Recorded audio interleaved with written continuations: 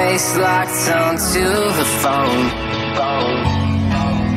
And I wished I had a number so I could be color unknown.